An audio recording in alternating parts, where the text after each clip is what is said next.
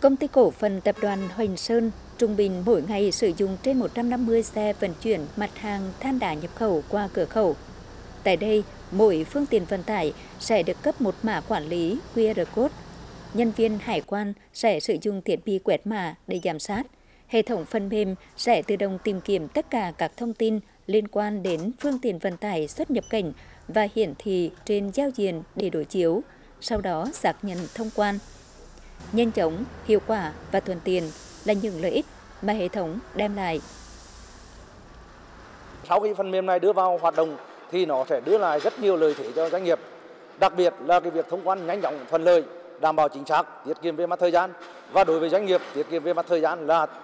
tiết kiệm là có hiệu quả kinh doanh rất chi là lớn. Cái thứ hai khi đưa vào phần mềm vào quản lý thì doanh nghiệp quản lý được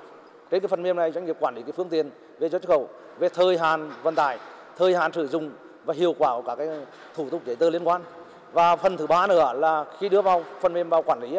thì ờ, doanh nghiệp là quản lý được người điều khiển phương tiện trên cái phần mềm này do đó là đem lại cái hiệu quả kinh tế cao. Năm 2023, lưu lượng phương tiện qua cửa khẩu quốc tế La Lai tăng mạnh, trung bình mỗi ngày có khoảng từ 450 đến 500 lượt phương tiện và dự báo sẽ còn tăng mạnh trong thời gian tới. Từ phần mềm sổ theo dõi điện tử, các thông tin liên quan phục vụ yêu cầu quản lý hải quan sẽ được tự động tích hợp vào bảng dữ liệu chung, qua đó đảm bảo yêu cầu quản lý, rút ngắn thời gian nhập liệu, thông quan phương tiện vận tải nhanh chóng, tạo thuận lợi cho hoạt động xuất nhập cảnh, xuất nhập khẩu. Trước cái tình hình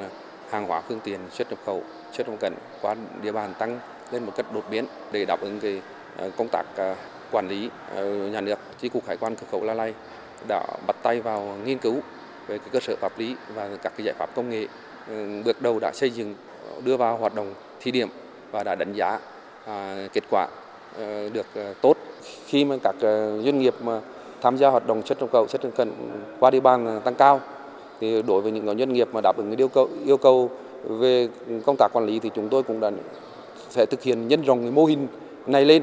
thì để nhằm cải cách thủ tục hành chính và rút ngắn thời gian thông quan và tạo thuận lợi cho nhiều doanh nghiệp hơn nữa. Việc đẩy mạnh ứng dụng công nghệ thông tin trong thời gian qua là mục tiêu và động lực để xây dựng chi cục hải quan cửa khẩu La Lai ngày càng hiện đại, chuyên nghiệp, minh bạch, hiệu quả, góp phần quan trọng vào việc hoàn thành các mục tiêu cải cách hiện đại hóa hải quan và tạo thuận lợi thương mại là tiền đề để xây dựng hải quan số, hải quan thông minh trong thời gian tới.